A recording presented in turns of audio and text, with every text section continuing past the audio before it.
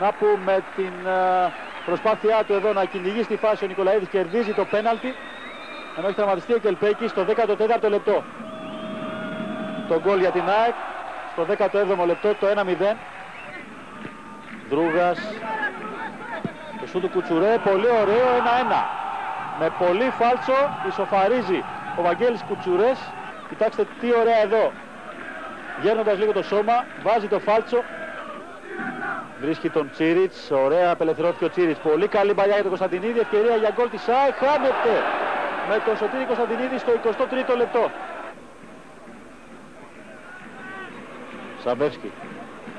Νικολαίδη στο τακουνάκι για τον Τσίριτς, έχει την ευκαιρία σουτάρει. Με κόντρα η μπάλα θα καταλήξει κόνερ. Προσφέρει τώρα ο Ντέμισον Νικολαίδης, ο οποίος ε, παίρνει την μπάλα. Να το τακουνάκι καταπληκτικό για τον Κασάπη. Γκολ.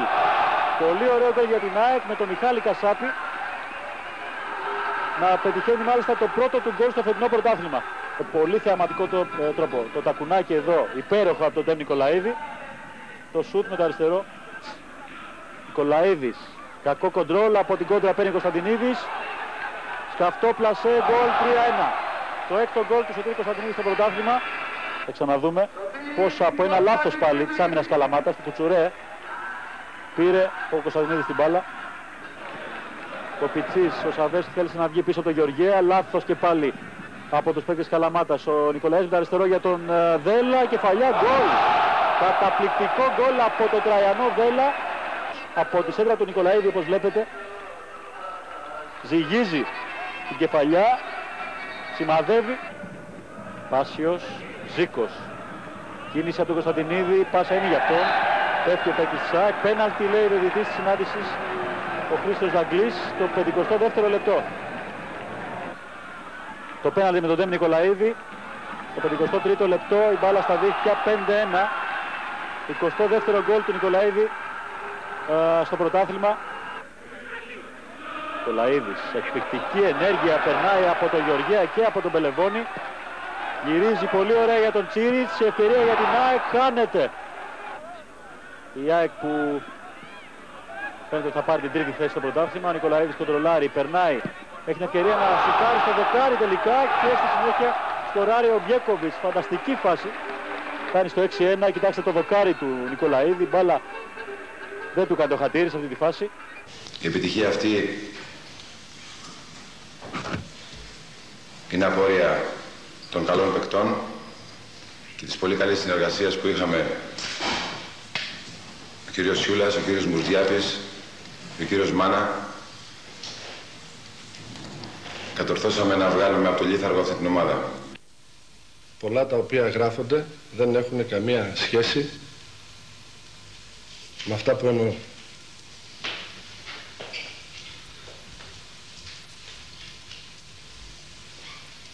Η ομάδα θα ενισχυθεί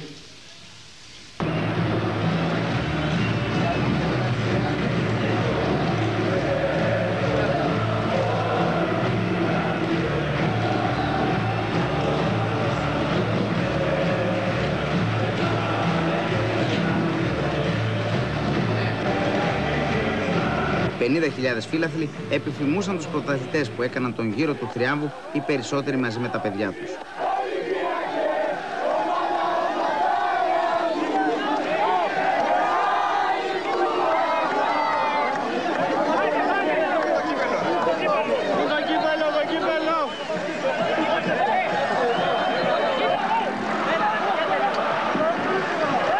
Φεύγοντας από το στάδιο, ο κάθε παίχτη είχε τους δικούς του λόγους για να θυμάται αυτό το πρωτάθλημα. Ήταν λίγο δύσκολο φέτος. Ε, με τα τόσα προβλήματα που αντιμετωπίσαμε όλη τη χρονιά, αλλά πιστεύω ότι το κατακτήσαμε δίκαια. Και τώρα πρέπει να, να γιορτάζουμε μέχρι το πρωί, γιατί αυτό το πρωτάθλημα ήταν πολύ δύσκολο.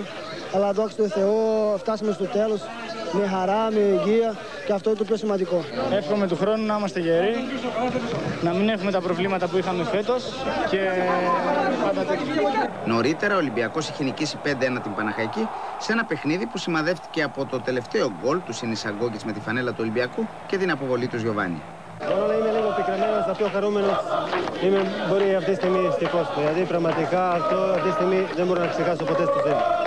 Το πρωτάθλημα λοιπόν τελείωσε χθες. Όχι όμως για όλους. Τρεις ομάδες, ο Ερακλής, ο Άρης και ο Πανιόνιος, θα δώσουν μεταξύ τους αγώνες μπαράζ για την έξοδο στο UEFA, στο οποίο έχουν ήδη εξασφαλίσει τη συμμετοχή η ΑΕΚ, ο Όφη, ο ΠΑΟΚ, η Καβάλα, η Προοδευτική, ο Απόλλων και τα Τρίκαλα υποβιβάζονται στη δεύτερη εθνική κατηγορία.